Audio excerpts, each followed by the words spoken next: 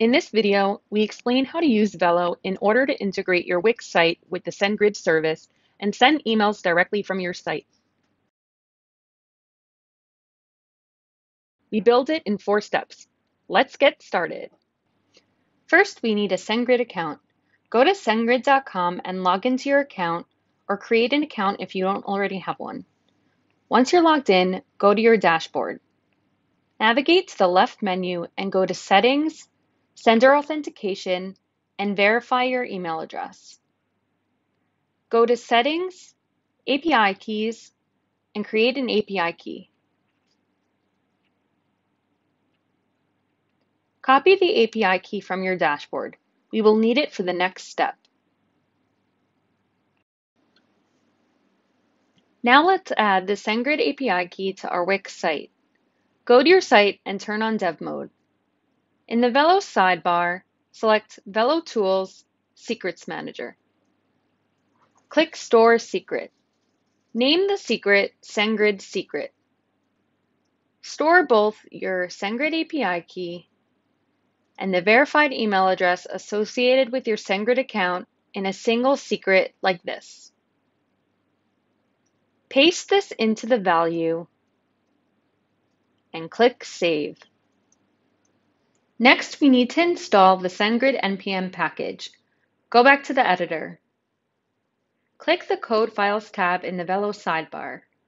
In the Packages section, hover over NPM, click the plus icon, and select Install Package from NPM. Find the SendGrid slash mail package and click Install.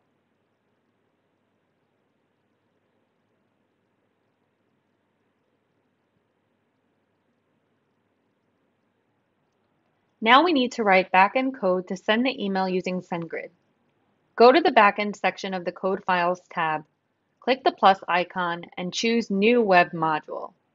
Name the file sendemail.jsw. Now we'll go over the code that you need to write in the backend. First, we import the NPM package and the Wix Secrets backend API.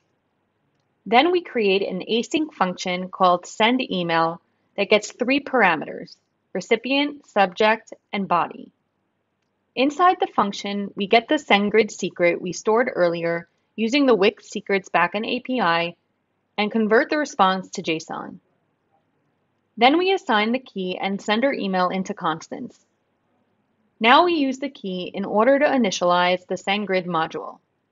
Next, we create a message object for the email.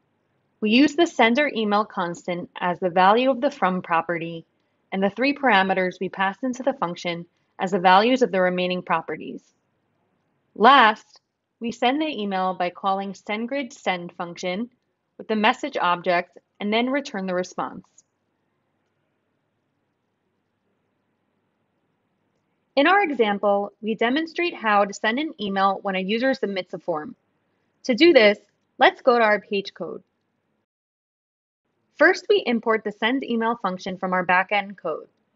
Then we create an on-click event handler that's triggered when a user submits the form.